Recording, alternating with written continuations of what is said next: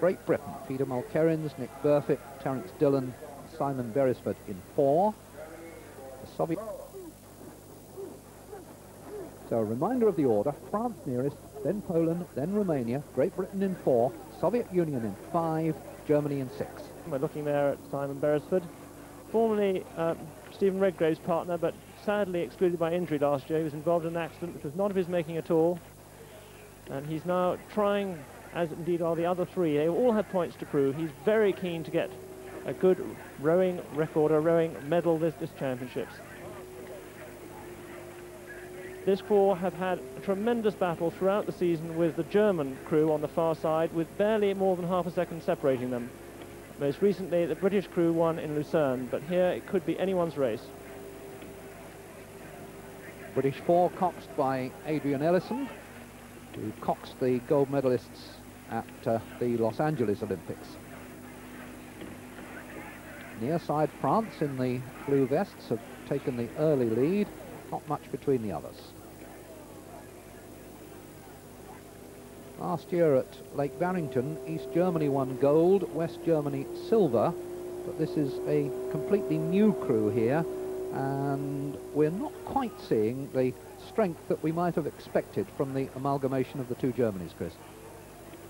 I, think really there's been very little combination between crews. There are a couple of crews here, the, the women's four is one and the quad another, where they have combined them, but in fact there seem to have been crews produced by individual clubs.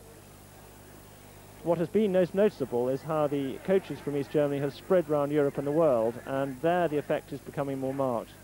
That's the Soviet four. In Great Britain, we have Jürgen Gröbler, who's become the coach at Leander Club, the top men's rowing uh, club in the country and this British Cox 4 is one of his crews and he's brought in new methods. The team this year has been to train at high altitude, an advantage which we've long sought. At the moment though it's the French again coached by a former East German out in front and there's a great pack behind. There's the British four looking comfortable but they are at the back of the field and these fast tailwind conditions we've got today that's not really a good thing because to run over the rest of the field in the last quarter despite what uh, Redgrave and was able to do only a few minutes ago is not actually very easy.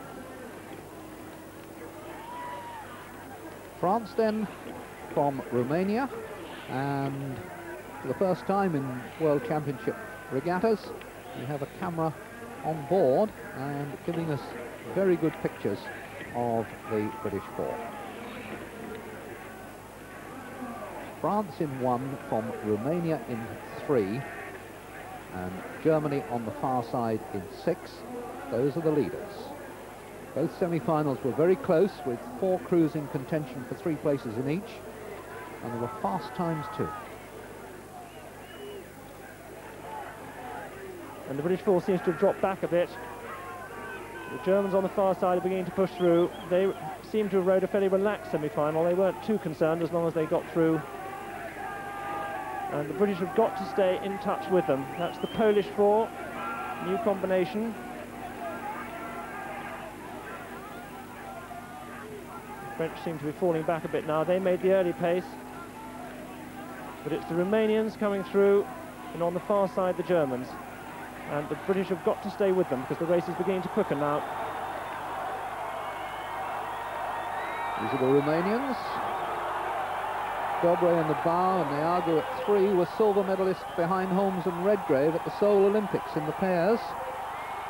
And now coming towards the finish, those are the Germans with not much more than 100, 150 metres to go. Germany, Romania and Britain in lane four look as though they may be doomed to disappointment again. Germany have got the gold, silver for Romania, and Britain just pipped by the Poles in lane two.